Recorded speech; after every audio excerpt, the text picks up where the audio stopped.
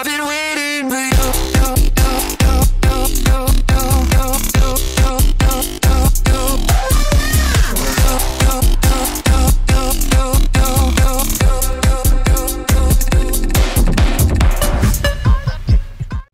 Hi guys, it's Ruby back again with another Vegas video. Today I want to talk about Vegas reopening and what is different, how it feels different, and things that feel the same. I wanted to get this video out to you guys quickly for those of you who have messaged me and said you're going to be going on a trip soon. I want to give you all the information of what you can expect and how things are going to be different for you this trip.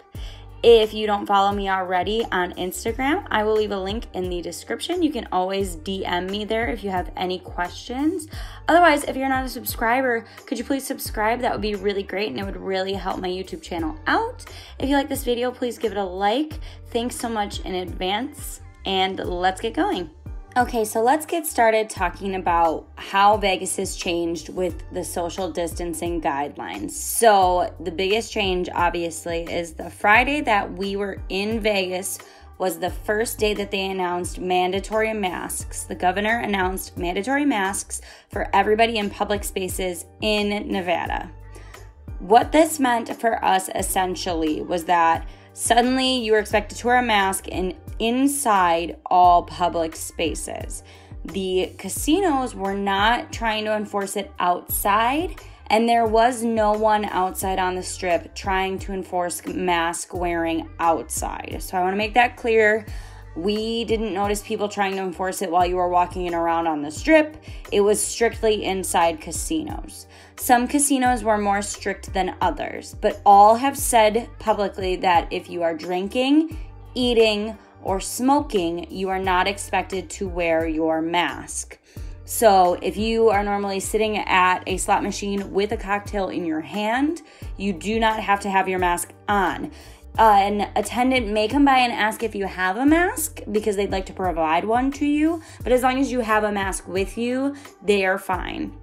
My husband and I were walking around in the morning with coffees um, down on the casino floor, and we had our masks with us, and no one said anything to us, and we didn't have any problems at all. So, as far as the masks go, they are providing them at all locations in the casinos. They're providing them when you walk in, they have them at the desk, they have them everywhere. In fact, they did kind of have them right when you came down from the casino or right onto the casino floor when you came down from the guest elevators and it actually caused a little bit of congestion in that area because they were stopping people before they left the guest elevators to put masks on to go out onto the floor um, we didn't notice them as being too horrible or distracting. They're mildly annoying at best. That's that's how i feel about the masks. I think they're mildly annoying but that was that was really the only thing we felt. It really didn't negatively impact our trip in a huge way.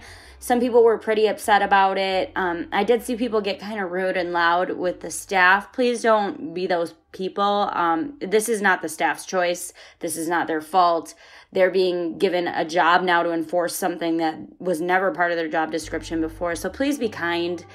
Okay, other changes regarding social distancing. They now have six foot markers out on the floor in various places. They have little dots that they expect you to stand in, like when you come in for check in, they check your temperature, and then you're supposed to stand on these little dots. People were like kind of half heartedly standing on them, but it, it really wasn't like being super strictly enforced, and nobody was really being super um, enforcing on that aspect. Other things I noticed, things that I thought were really nice actually, there were hand washing stations on the casino floors, and I loved this.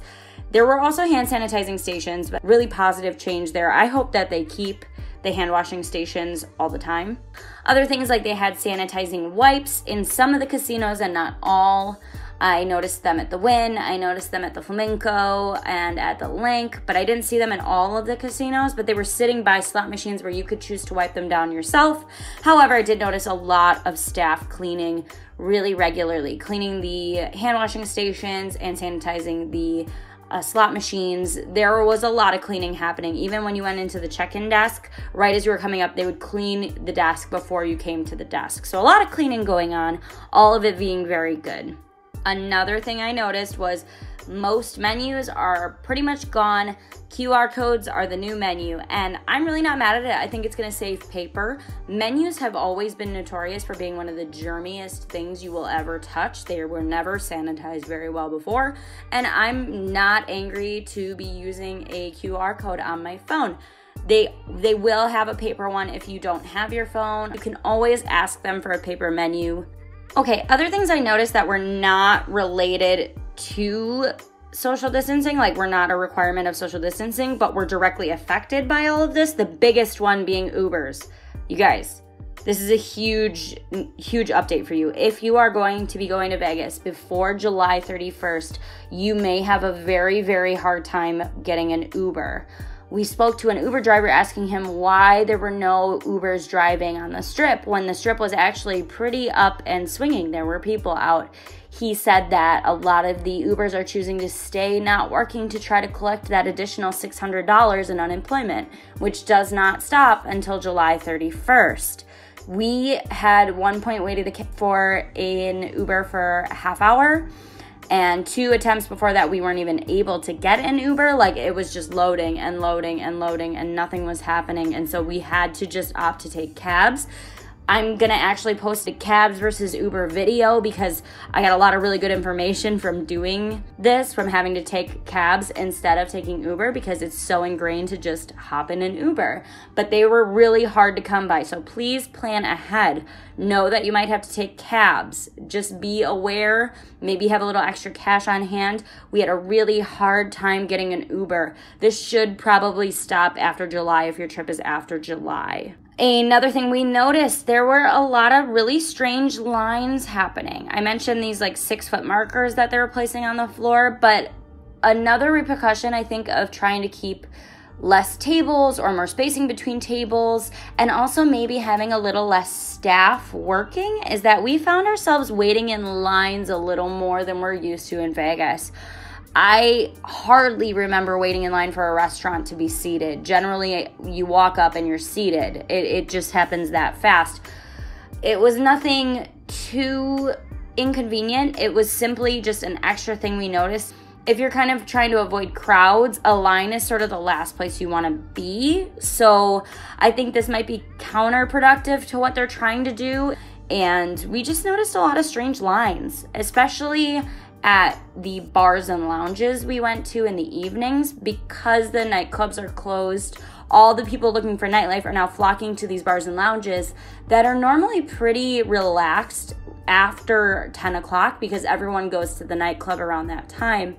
Now people are eagerly waiting to get into these lounges, and there are lines out the door of bars and lounges for people trying to go inside. Plan ahead if you're planning on going to bars. Maybe consider going a little early so you can get yourself a table because you aren't going to be able to do standing room. They are going to want to seat you, so you have to wait for a table. Also, make sure you're really, really actively checking what time things open. Things are opening at different hours, some things aren't open just yet be very aware of what's open and what's closed. We actually met up with some people that didn't know what time the pool was open and they came much later. And because of that, they had a hard time finding pool chairs and it was a whole thing. So make sure you do your research. What time are your restaurants open for breakfast? Things like that to really make sure that your trip goes smoothly. We're so used to everything just being open really early and closing really late, if at all, in Las Vegas. But right now, as things are slowly starting to transition into being open, that's one thing you're gonna notice. So please be aware of that. Other new things we notice that are not related to uh, social distancing or any protocols of the reopening. Am I crazy, or has there always been a metal detector outside of Fremont Street? There was a big metal detector with a sign that said, You can't be under 21 no backpacks. And there was a gentleman outside clicking, like counting capacity. Am I just that buzzed when I go to Fremont that I've never noticed this person here before? Maybe it has been there, but I never noticed it. And to be honest, we went straight through with our camera equipment and our buzzer went off and the guy didn't even look at us and people were bringing their young children in anyway. So I don't know why those gates are there and I don't know how long they've been there. Tell me in the comments if those have always been there. Maybe this is just something I didn't notice. Another big Fremont event happening is that Circa will be opening. We did see a little bit of the outside, and they're slated to actually open early in October. They've also just announced this is going to be Vegas's first and only adults only hotel. You have to be 21 years old to be in this hotel. So, this is a whole new experience, and I think kind of an interesting one for people who are looking for an adults only environment. It'll be really interesting to see how this affects crowds there and who all will be the clientele that comes to Circa. I'm really excited to see it and to see what the inside looks like because it's supposed to be this old Vegas glam. So that'll be really fun and we'll keep you posted on that on the channel. And let's talk about what is the same in Vegas. If you're watching all this and you're like, oh, I don't know, this stuff makes it seem like maybe it won't be fun. Our trip was a lot of fun, you guys. We still had a lot of fun. It was still busy. On Thursday, the strip was so dead, and we thought, oh man, no one's gonna be here. I don't know how fun this is gonna be.